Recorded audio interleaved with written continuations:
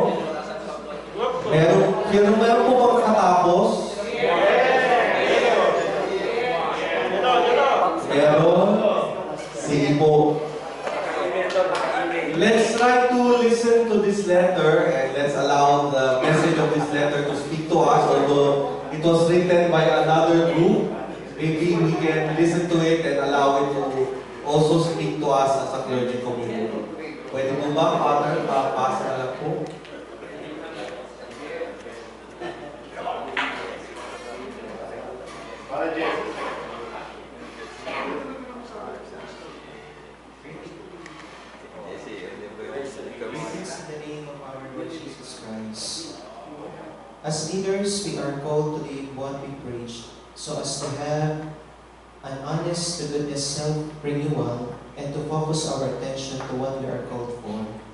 Dying to oneself is needed to work for our common good and for the good of the church. To live the gospel values of love, unity, and openness, it is about time to be selfless and to look forward for the good of all.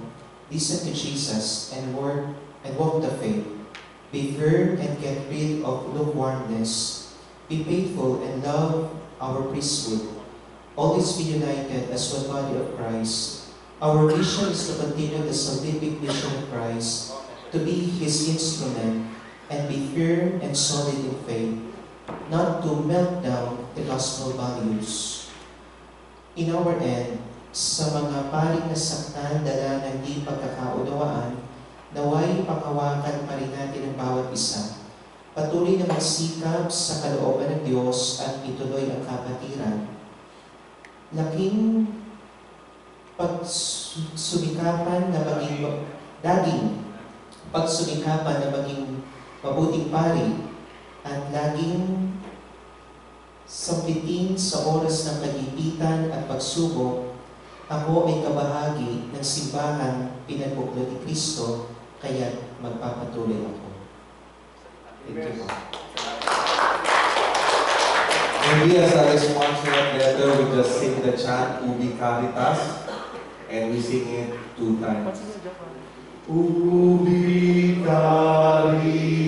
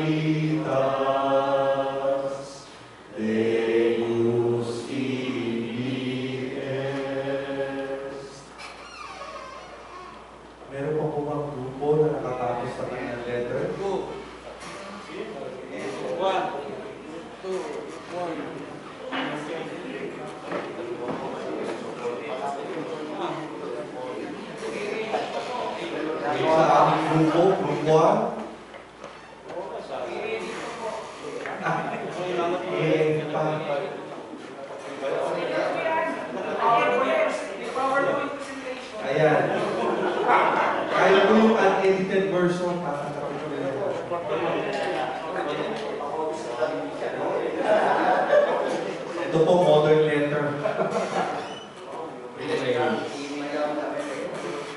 Yo, hello. Letter of BNC. Hindi yung Father Manny po. Hindi ko po yung Father Manny. Ikaw pala gumawa eh. Makayarin na naman ako.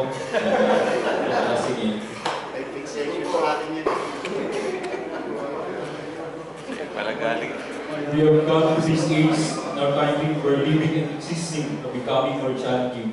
The age where violence, hatred, corruption, and poverty have been considered as social norms and social problems.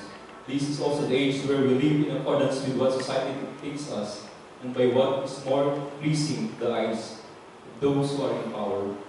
We, the clergy of the Diocese of San Pablo, as leaders,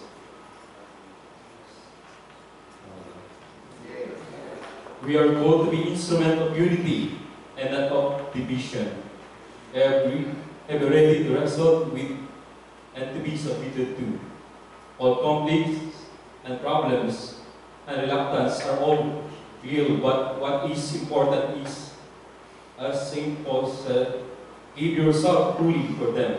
If you do, you will save both yourself and your hearers. Be leaders by example, walk the talk. Be the agent of change, persevere, never give up, and be faithful. Be united in Christ, and will lead to union with one another. Be accountable to yourself, to the, to the faithful, and to God. Be humble. Be obedient servant. Respect one another. Be one in vision. Be positive. Aim for the betterment of your parish. Be still. God is always with you in your journey. And pray for the enlightenment of your bishop and his chosen leaders. Amen. The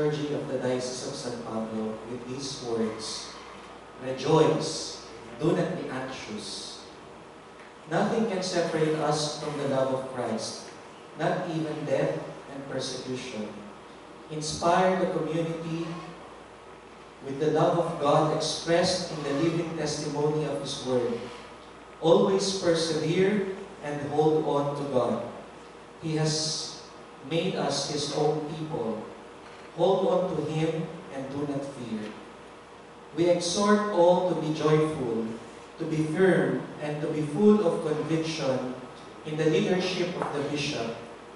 Follow and obey his plans. Be open and firm. Be steadfast and sincere.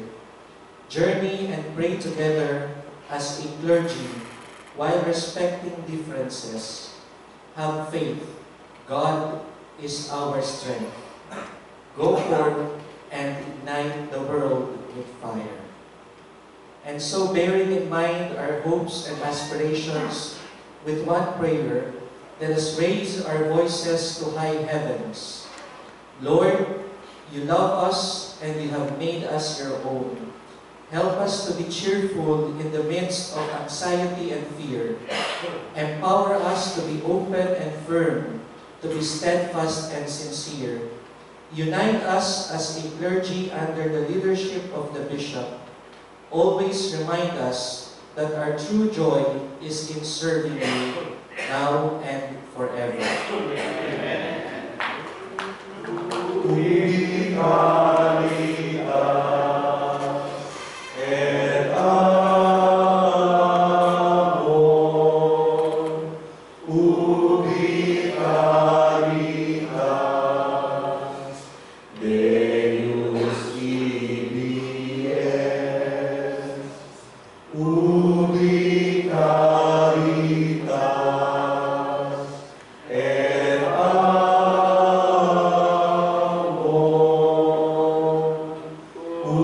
be God.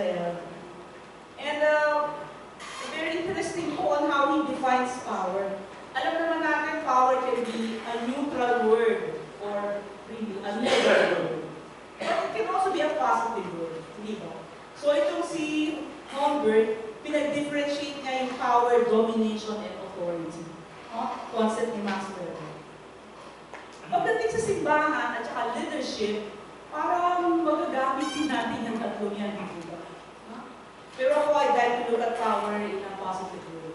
But this time, we are using the word authority. No? May kaibahan yung power at authority.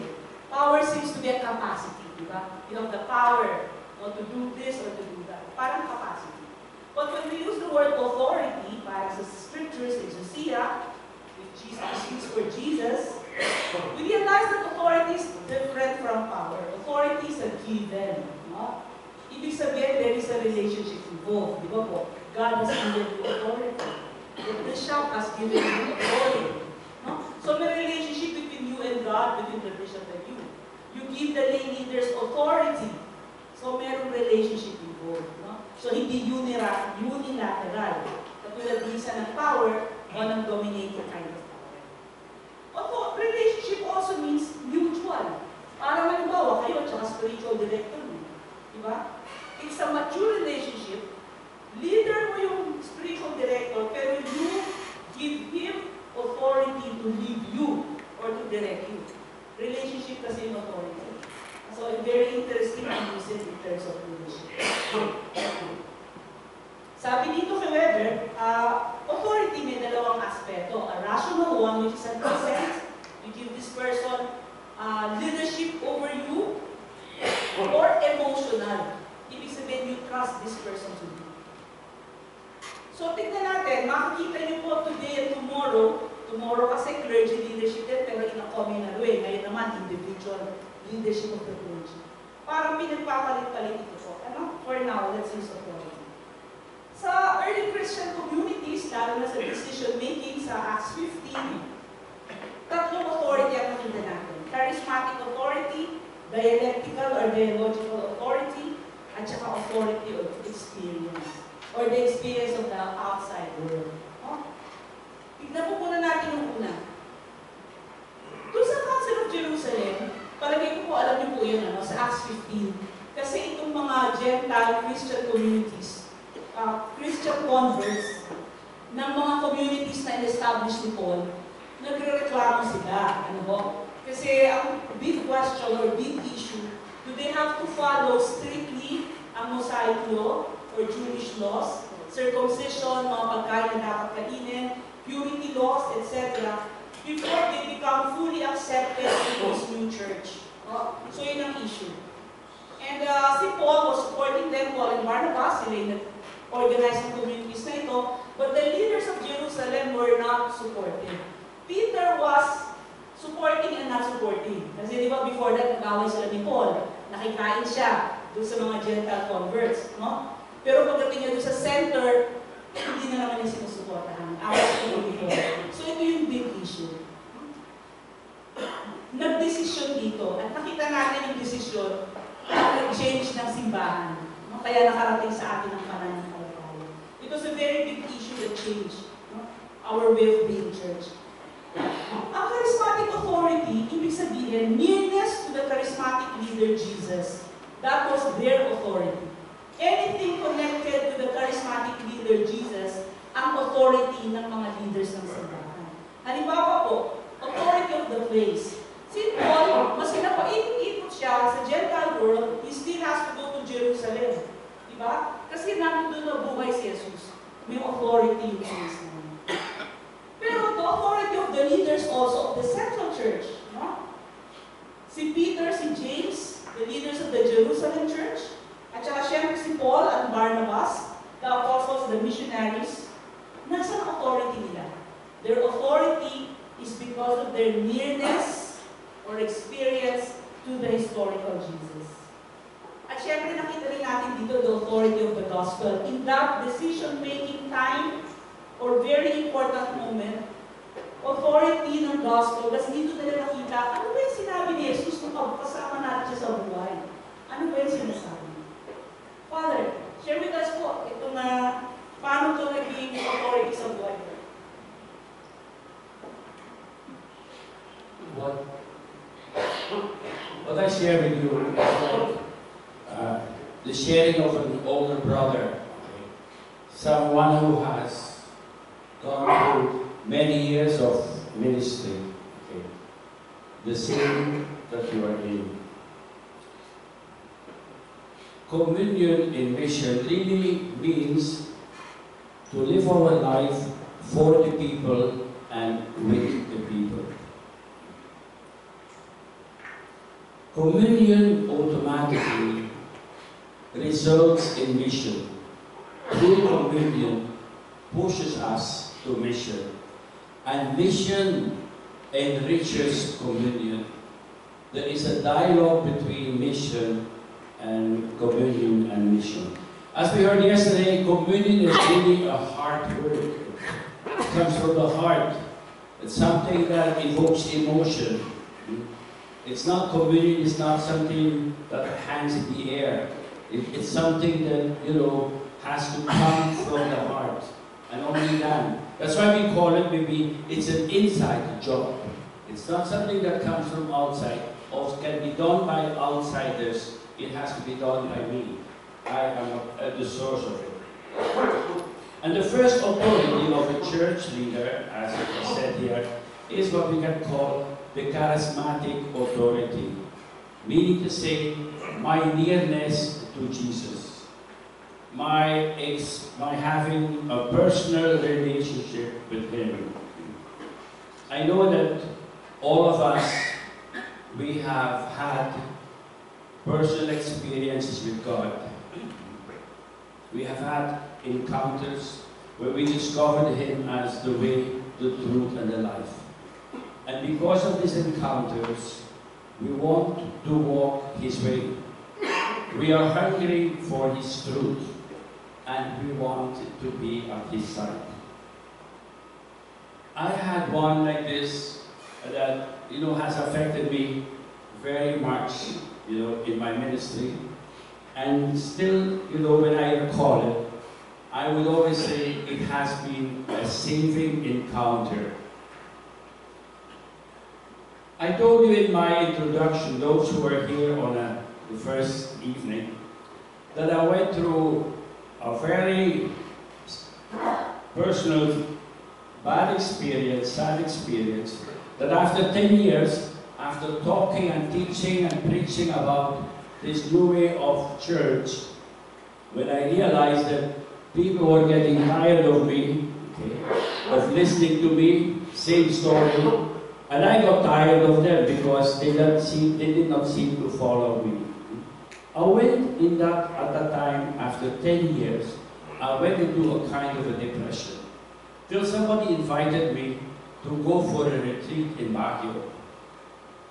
In fact, I was not interested in the retreat. I wasn't interested in Baguio because we have a house home sweet home, and I know the front door, but I know also the back door. Okay? And so, mine was really to enjoy okay, Baguio. Then it came out that this was not in home sweet home, but in the house in Baguio of the SVDs.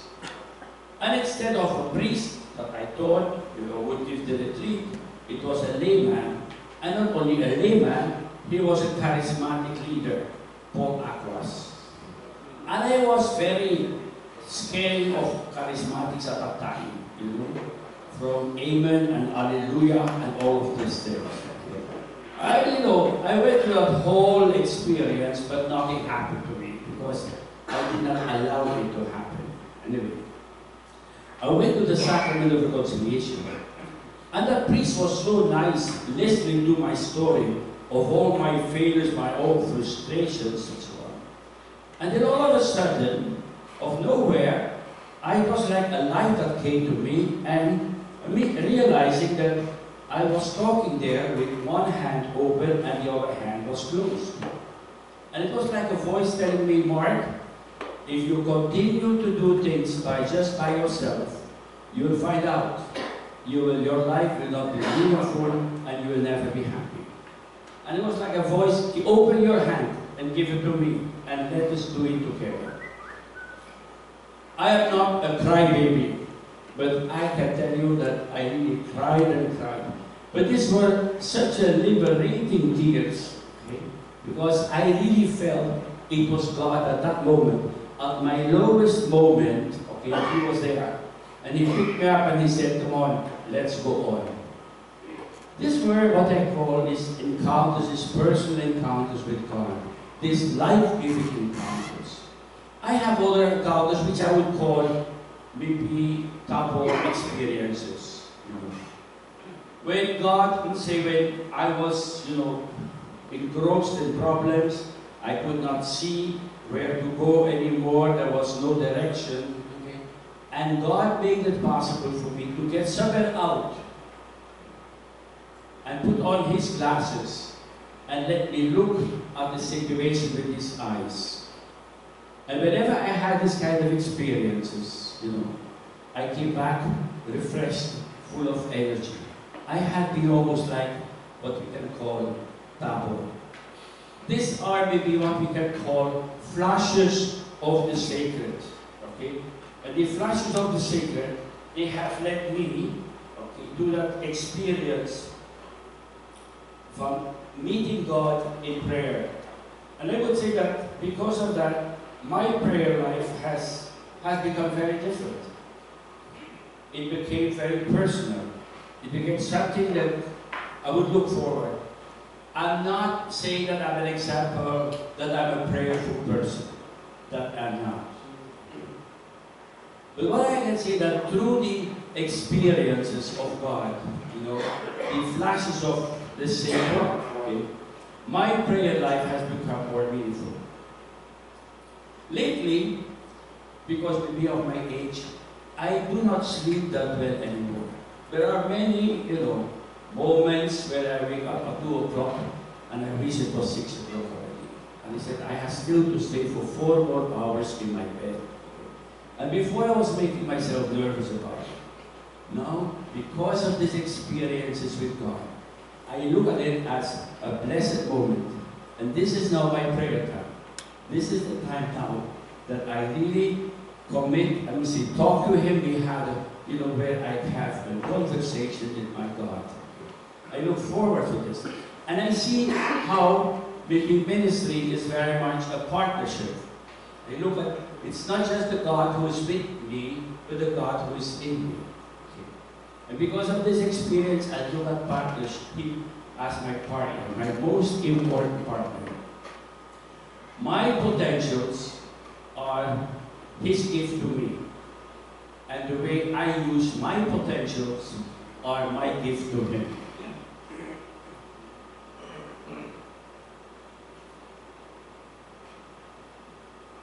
Communion's mission means really to live our calling as priests with and for the people. Communion is at heart, it is an inside job. But what really shows our living out of our vocation is our integrity as priests. Integrity is a rare commodity nowadays. Not only in business, not only in politics, look at the Blue Ribbon Committee, how busy we are, but also in the church. Integrity really, know, has, you know, as a rare, rare commodity. If we try to define maybe integrity, we could say, my words match my deeds. My words match my deeds. I am what I am, no matter where I am or with whom I am. Another way maybe is to say the music must fit the lyrics. The Bible says, I try to put music on. Sometimes I feel happy, sometimes I feel sad. I will give you two of my compositions. Sometimes I feel, sometimes I feel happy, and sometimes I feel sad. That's composition one. Composition two. Sometimes I feel happy, and sometimes I feel sad. Which one of the two do you think is the best one? The second one.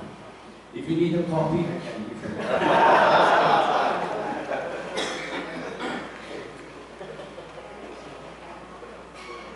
you. Leadership rises and falls with integrity. Leadership rises and falls with integrity. That's why it's so important for the leader, it's so important for the priest. Integrity rises or falls with integrity. Integrity is like a navigating system. Because we all have conflicting desires. Because we are all human. And it will be integrity that will tell us this is what you have to live, and this is what you have The result of integrity is an inner peace, a fulfillment, a meaningful life. I recall when my integrity was high, that nothing was too hard, nothing was too difficult, nothing was impossible. I had all the energy. And my relationship with Jesus was very personal. But I can also recall the times where my integrity was low, where I had no energy, where everything seemed to be difficult, everything seemed not to have any meaning. And my relationship with Jesus was very functional. Yes, I was saying Mass, it was a functional celebration. That's why I say integrity. We get this integrity from our closeness to Jesus. From our closeness to Jesus. And that closeness to Jesus gives us the integrity. And integrity in the terms gives us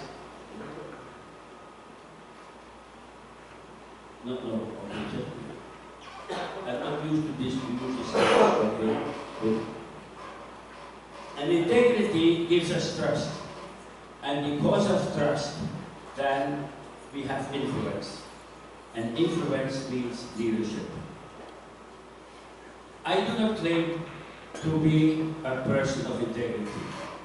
I cannot and I will not. I cannot. But I like to talk about integrity.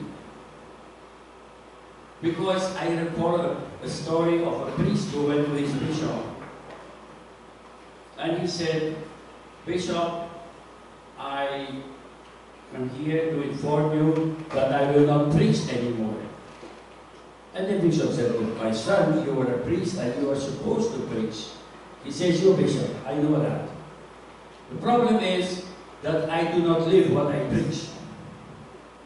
And the bishop said, You know, my son, just go on preaching, hoping that one day you will live what you preach.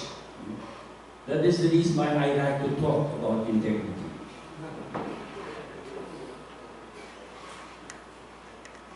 What people hear say, they understand. What people see, they believe. That's why witnessing is so important for a leader.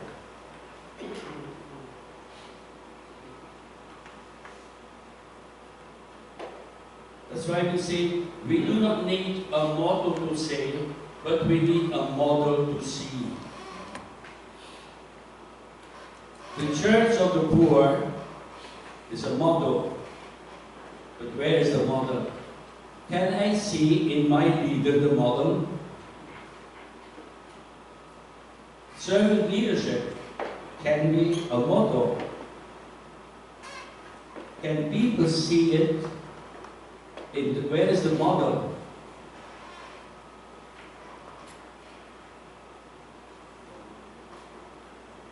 People buy in the leader, into the leader before they buy into his leadership.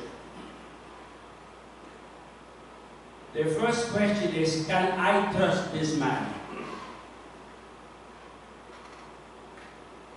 Can I trust this leader?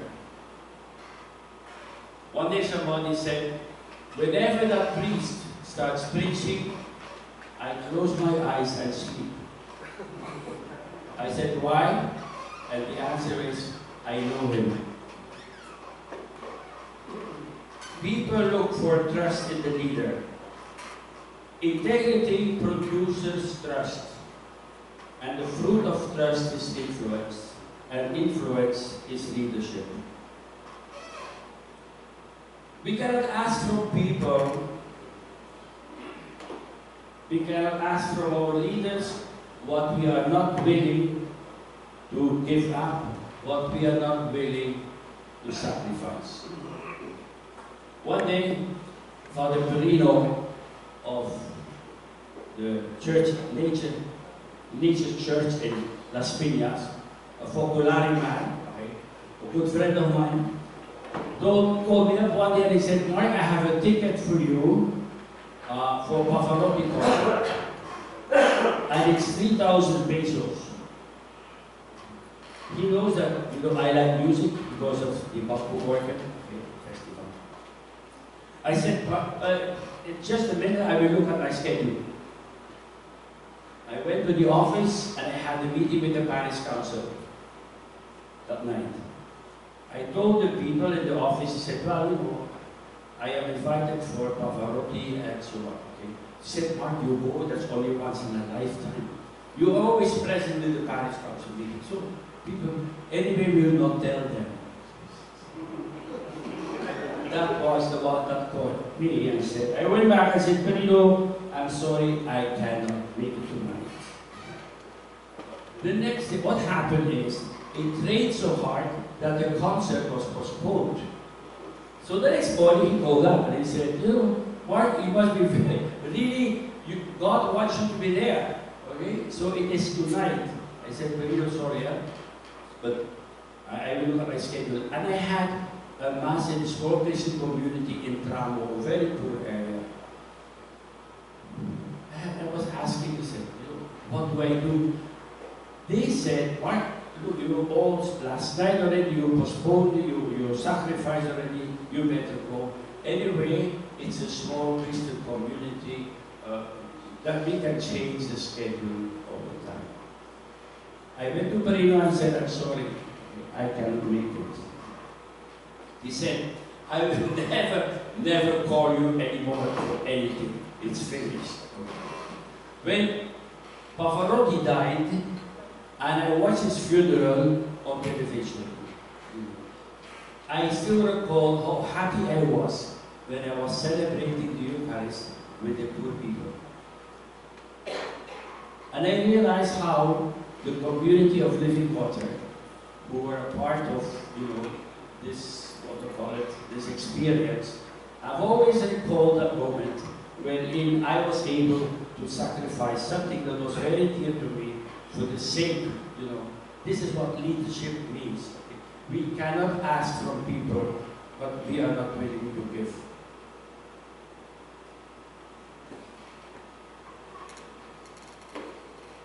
Integrity is who we really are. Image is what people think we are.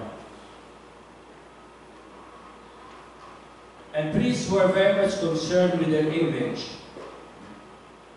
are sometimes surprised that after some time they have no more authority. But people who know them, people who know that they were more, were more concerned about image than integrity are not surprised. Image promises much, produces little. Integrity never, never fails. A priest of integrity is humble enough to admit his mistakes, wise enough to learn from them, and strong enough to change. Our relationship with Jesus is the real source of our integrity. And because of integrity, it produces trust. And trust is needed to influence, to lead the community.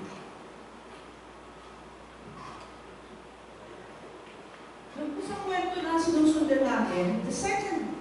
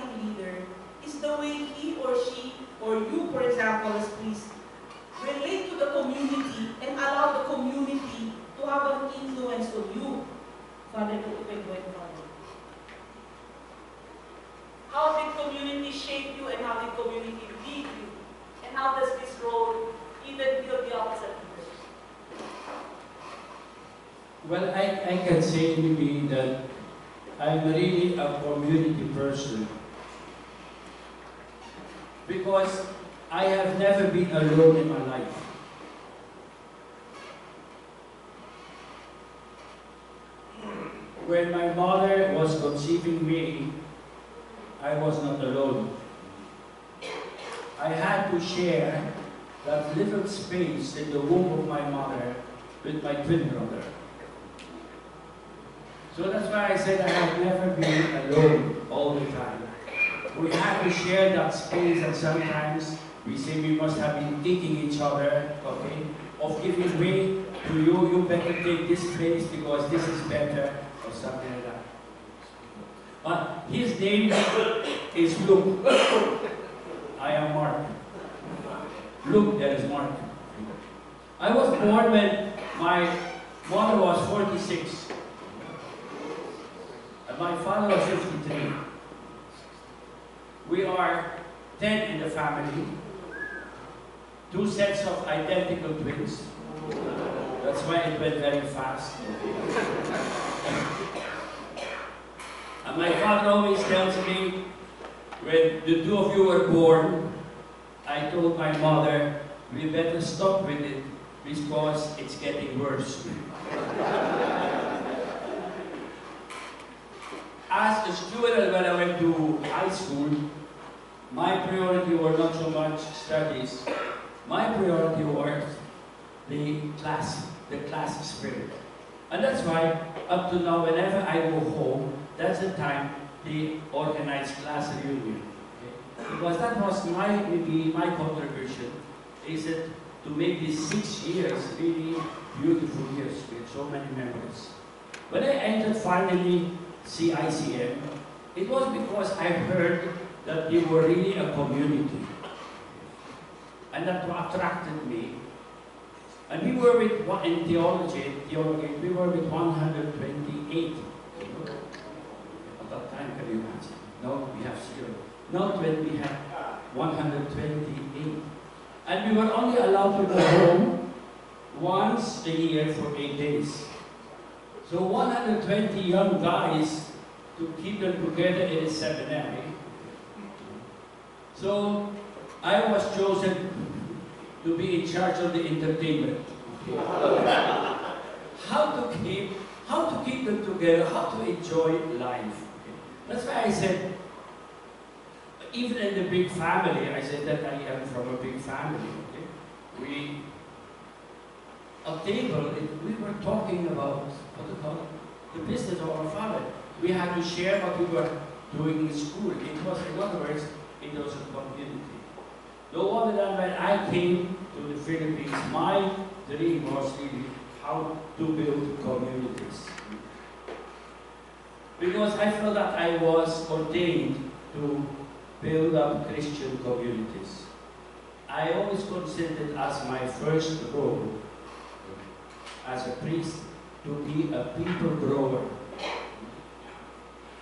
by making not just a few, but as possible, every baptized person a disciple. To make every baptized person a missionary disciple. Because that's the only way to move forward, to move the parish from our maintenance mode to a missionary mode. According to Father James Mallon, who wrote a very interesting book, Divine Renovations. He's a parish priest. He writes wonderful, you know, approaches to parish work. He writes, before our approach was believing, you have to believe first this, then you have to behave, and then you have to belong. The three B's, believing, behaving, belonging. He says in the process, we have lost so many people who joined other churches because they could feel there that they belong. According to him, there should be a paradigm shift. Instead of believing, behaving, belonging, it should be belonging, believing, behaving. And maybe the bigger our parish is, the smaller it must become because providing opportunities to experience authentic community and experience of belonging. So in other words, he would say small Christian communities is not an option. It is a must. If we say that belonging becomes so essential, could be the beginning of our missionary task. Building up communities among priests allowing also the community of priests to have influence on me, on us. I used to have a co-pastor with me for 25 years, the same person. His name is Leo Renier. We lived for 25 years together in the same house. He was the one holding the money the television was in his room. If I wanted to watch television, it was there. He was in charge of the school. He was a musician. We really lived as a team. And people witnessed that. So often we heard about this. Okay? You are really living as a team. We would wait for one another. We would go on Monday. On Monday would be our free day to go out. We would swim in, in in Cavite, and then see a movie and eat well, have a good beer. All of this, that was a part, that was Monday. But we noticed the old scribiente we had the scribiente at that time, whenever there were funerals on Monday, you know, he saw our faces that were disappointed because that was almost, the swimming was finished because of that funeral. After some months, we realized, how come there are no more funerals on Monday? We were very happy there were no more funerals on Monday to find out that that's Gradiente told people whenever they came for a funeral on Monday, he said, it's not good to bury somebody on Monday because somebody else will follow. we, we never corrected that thing. we do not agree, we never corrected it. But we had a wonderful life together, Leo. But later